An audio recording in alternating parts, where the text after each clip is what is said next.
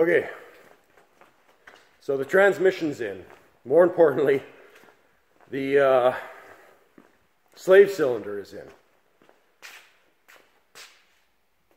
The transmission was about as awful as you could expect. Uh, that slave cylinder, though. If I, am not a big fan of uh, automotive mechanics. I can barely tolerate working on my own stuff anymore, to be perfectly honest. But man, mechanical linkage to the throwout bearing. Why is that such a difficult concept? Why do you need these stupid hydraulic systems? That slave cylinder is goddamn awful. If you can farm this out, just get somebody else to do it. I can't even honestly think of a better way to do that.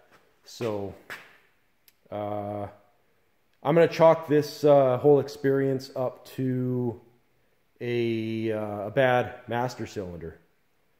I, I swapped that out. It was still absolutely awful, but I got it in. I got it working, so whatever. Uh, the, you know, you hear about people talking, people talking about, oh, Jesus Christ. You hear people talking all the time about how you need two people to uh, bleed your brakes, unless you got one of those uh, those canisters. Well, I just use one of these inside there. The uh, on this truck, I at least got a hole in that, so you just hold it on there, give her a little squeeze. See, what did I do exactly? I had the brake pedal depressed, uh, had the valve open already, and you can actually bleed your brakes by yourself. You can bleed these clutches by yourself too by just uh, shoving something up here against the pedal, depressing it.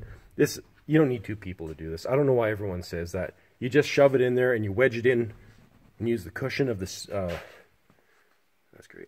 Use the cushion of the uh, the seat to add your uh, spring to your pedal. You don't need two people. Uh, I don't know why people always say that. So it, that was pretty awful. That was terrible. You know, two hours screwing around with that stupid slave cylinder. It's done. I'm done. God, that was awful. Uh, so other than that, yeah, I just, uh, you crack the valve on the bottom, you give her a little squeeze of air, go back under there. Uh, that'll at least clear the line out mostly. And then you can start pump, pump, pump. And, uh, you know, wedge something in there, go under there, crack it for a second, come back up, pump, pump, pump, wedge it back in there, go back under, crack the valve for a second. That's, uh, that's how I always do it. So other than that, uh, I wanted to mention this truck. The reason I took the transmission out of it was synchro mesh in second gear was blown out of it. Uh, really common from what I see in the forums.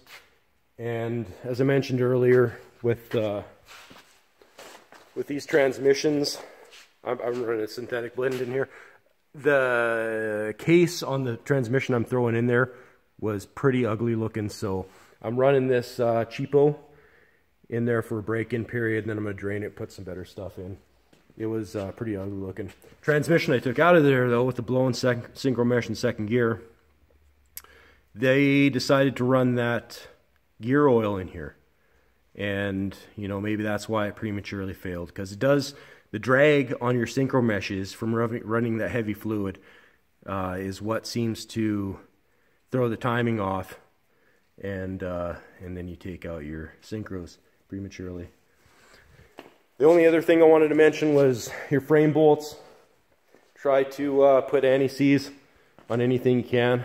And uh, I didn't really Loctite much. You might want to throw just tiny little dabs in your uh, bell housing bolts because there was one loose when I came in here into this truck. So not just a little, just tiny little bit, you know. Don't torque the living daylights out of it either. So that's all I wanted to mention.